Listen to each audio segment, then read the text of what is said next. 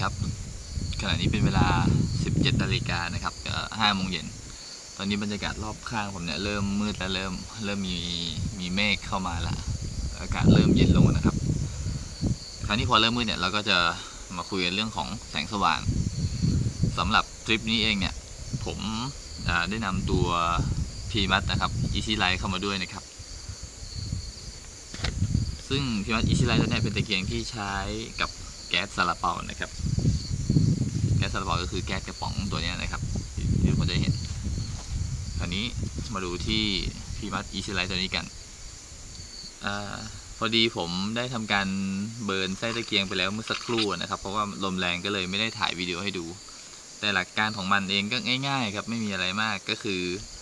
พอเราซื้อตะเกียงมาใหม่เนี่ย เราจะเห็น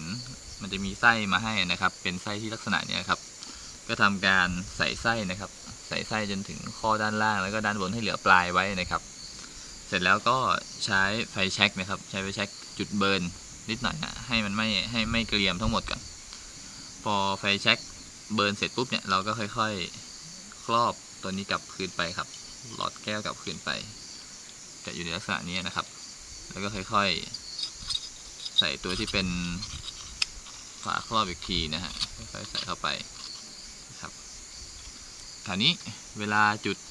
ง่ายๆเลยครับ จับเอาเจ้าพีมัตอีซิไลท์ตัวนี้นะครับ หมุนเข้าไปกับแก๊สซาลาเปานะครับ หมุนให้ให้แน่นนะครับคราวนี้พอหมุนแน่นเสร็จแล้ว ท่านค่อยๆค่อยๆที่จะเปิดแก๊สนะครับ เปิดแก๊สเบาๆอ่าพอได้ยินเสียงปุ๊บนะฮะพอได้ยินเสียงปุ๊บกดจุด อ่ามันก็จะสว่างขึ้นเห็นไหมครับ คราวนี้เราก็เลือกว่าเราจะใช้ความแรงของตะเกียงขนาดไหนแล้วก็เริ่มจากการเพิ่มแรงดันแก๊สนะครับ แล้วก็ผ่อนนะลักษณะนี้ครับผมแค่นี้ก็เพียงพอที่จะทำให้เรามีแสงสว่างใช้ทั้งคืนแล้วครับพิมัตอิชิไลตัวนี้เปิดต่อเนื่องได้ตั้งแต่ 4 ถึง 36 ชั่วโมงนะครับ ขึ้นอยู่กับความแรง ของแก๊สที่เราใช้ขึ้นอยู่กับความสว่างที่เราเลือกโหมด หรือเราเลือกปรับมันว่าเราจะให้มันสว่างมากสว่างน้อยแค่ไหนนะครับ ก็สำหรับผมเองคืนนี้ก็คงมีเจ้านี่นะฮะอยู่เป็นเพื่อนสำหรับห้อยหน้าเต็นท์โอเคนะครับ